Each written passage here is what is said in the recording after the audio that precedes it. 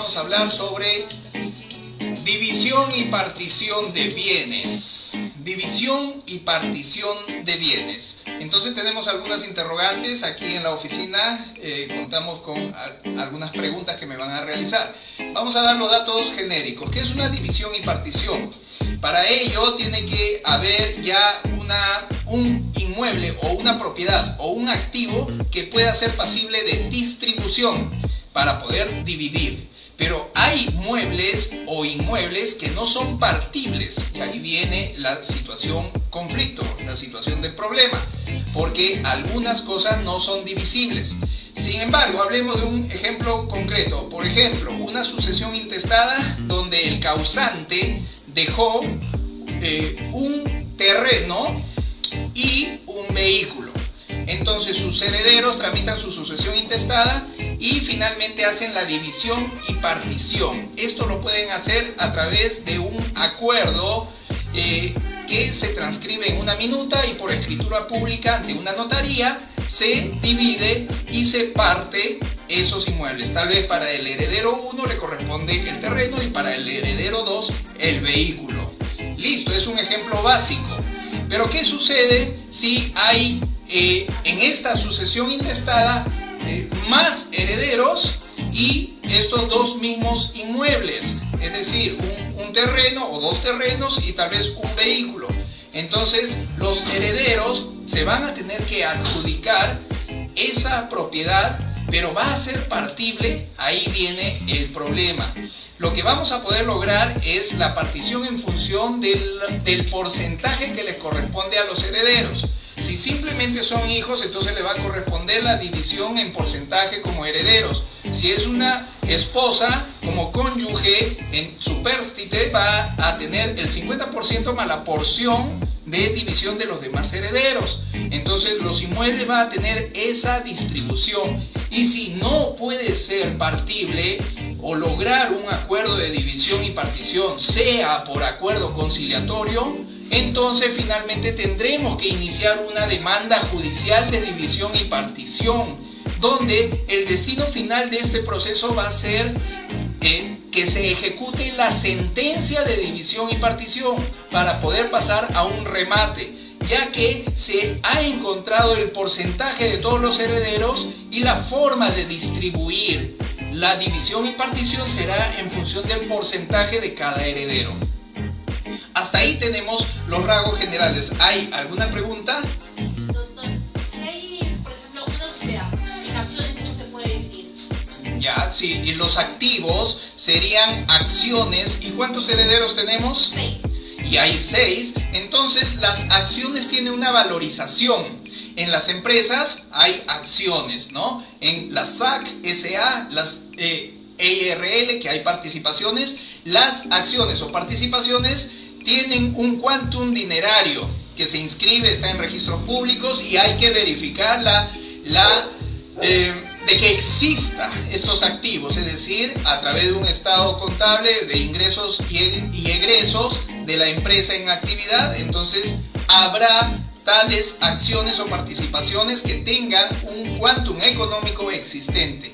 Y si son seis herederos, entonces después de la sucesión intestada y si son solo hijos, le corresponderá el 100% de los activos entre 6. Y ahí tendríamos que sacar con calculadorita, calculadora más o menos lo que correspondería a cada uno, ¿no? Vamos a hacer el cálculo inmediato. A ver, sería 100 entre 6. Sería 16.66% que le corresponde a cada heredero. Ahora imaginemos de que estas acciones tienen un quantum dinerario de 200 eh, mil soles, ¿no? Entonces, si es 200 mil soles lo que vale, y ya tenemos que cada uno le corresponde el 16.66%, solamente tendríamos que utilizar un cálculo aritmético para saber qué es lo que le corresponde, ¿no? De 200 mil soles por punto 16 Aproximadamente le correspondería a cada uno un 32 mil soles.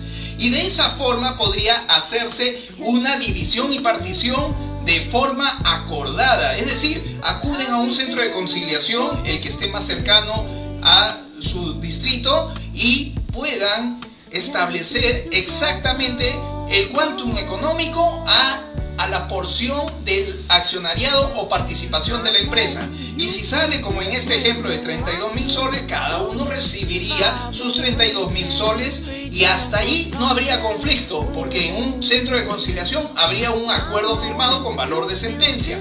Siempre y cuando alguien no esté de acuerdo, entonces todo este acuerdo se va al tacho y se irá a instancias judiciales para que el juez ordene la distribución de esta división y partición de un cuantum económico como en este ejemplo que corresponde a acciones. ¿Tenemos alguna otra pregunta? Ya, hemos de dar la división de que a cada persona le, le corresponde el 16,2%. En este ejemplo. Ya puede vender. Ah, por supuesto. Ya. Eh, eh, buena pregunta. Cuando ya hay un acuerdo eh, de distribución de la división y partición por vía conciliatoria, ya la persona en el acto que ha firmado ya es dueño de su participación y ya lo puede vender. Ahora, como estamos hablando de una empresa, ¿no? que son acciones, entonces tendrá que agotar el derecho preferente, que es una carta dirigida a la empresa para efecto de decir, ¿no? Alguien de los accionistas desea comprarme mis acciones que corresponden al 16.66% respecto del 100% que está valorizado en 32 mil soles, si alguien te lo compra, se hace la escritura pública y se transfiere las acciones por esa valorización y te depositaría tus 32 mil soles y la otra persona, ¿no? el adquirente, queda como nuevo accionista y aumenta su- sus acciones y tú recibes un capital. A diferencia de la de, un inmueble, por ejemplo, un terreno, ¿no? Que el terreno lo que te corresponda, por ejemplo, hablemos de lo mismo, son seis herederos y es un terreno valorizado en lo mismo, 200 mil soles, ¿ya? Entonces, pero es un terreno. Y nos ponemos de acuerdo en un acuerdo conciliatorio de que cada uno le corresponde su 16.66% valorizado en 32 mil soles.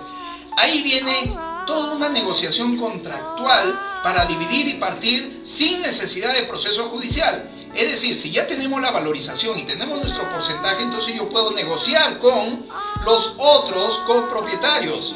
Es decir, tal vez tú quieres comprarme mi parte, mi 16.66%. Entonces establezco desde contratos privados hasta eh, posibilidades de ya suscribir minutas y escrituras públicas para que pueda eh, transferirse el porcentaje correspondiente.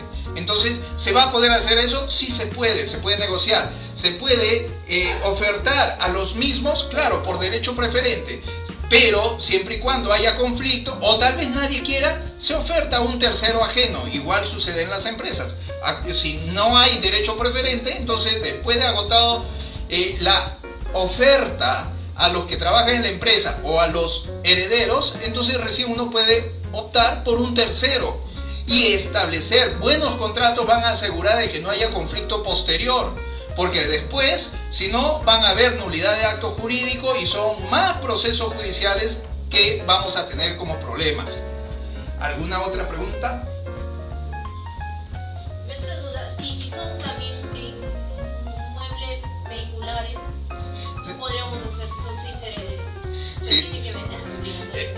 Claro, en este caso, si es un, un vehículo que no es partible, pero son seis herederos, es evidente que lo salomónico es vender ese vehículo para que cada uno tenga la valorización en función de su porcentaje.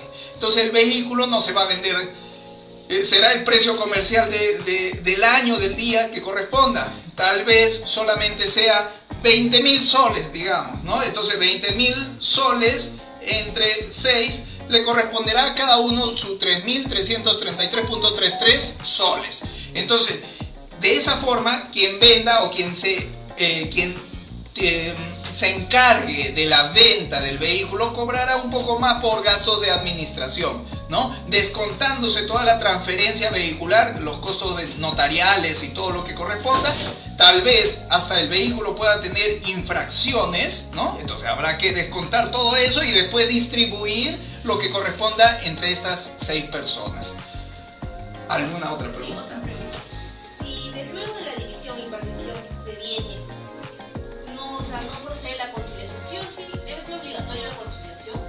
Buena pregunta.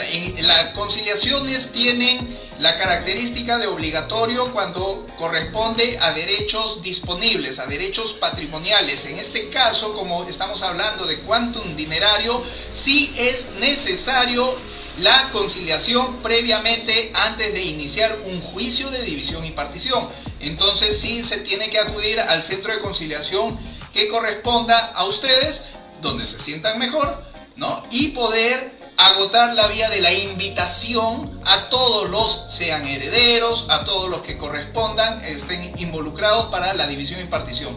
Si no hubiese un acuerdo en todos los invitados, evidentemente se va a tener que realizar la demanda de división y partición, emplazando a todos aquellos que no acudieron al centro de conciliación.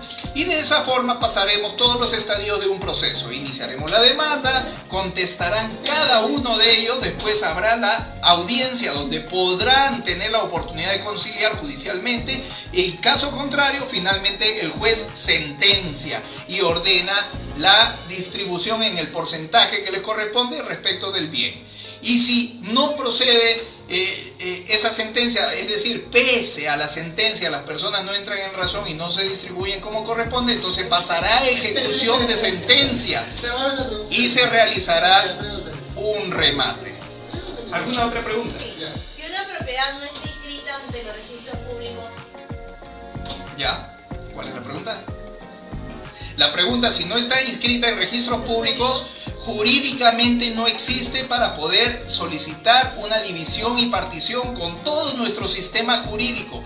Eh, Por lo tanto, tendría que hacerse todo a través de acuerdos privados, transacciones o acuerdos conciliatorios que tienen carácter de sentencia. La, la cosa es de que procuremos no pelearnos con las contraspartes, con, con los demás herederos, para poder dividir y partir en forma privada.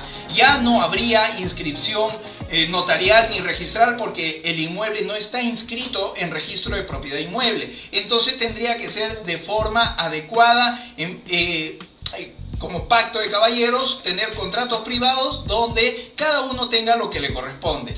Ya en el futuro corresponderá a cada uno eh, la estrategia de saneamiento para que su parte que le corresponde la puedan por ejemplo, si hablamos de un inmueble, ¿no? su porción de habitación o cuarto tenga un autovalúo, sea reconocido por la autoridad municipal y finalmente tenga un título de propiedad. Ya habrá que realizar estrategia de saneamiento sea por declaración ante las municipalidades, sea por prescripción adquisitiva de dominio, ¿no? Y por muchas otras formas. ¿no? Como la regularización total tal vez de, de, la asociación o de la ficha matriz del inmueble, la independización y finalmente la compraventa o donación de la porción que corresponde. ¿Hay alguna otra pregunta? Si una de los, de los hijo, ¿Ya? ¿cómo sería la repartición?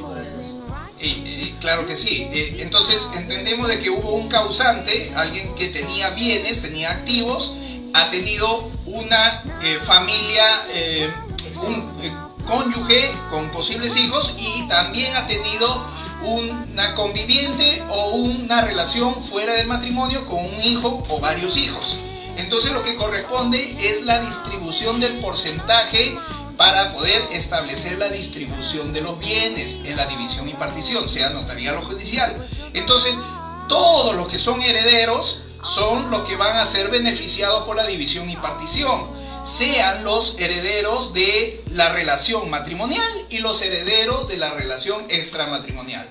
Obviamente, en el cónyuge supérstite también es heredero, ¿no? En un 50% más la distribución que corresponda a los demás herederos y en la relación de la familia extramatrimonial la conviviente no sería heredero solamente el hijo el hijo o los hijos entonces tendríamos un porcentaje del 100% dividirlo en todos los herederos para encontrar correctamente el porcentaje y distribuirlo en el quantum económico, sea de dinero, cuentas bancarias o de los inmuebles que pudieran haber o vehículos como ya hemos hablado.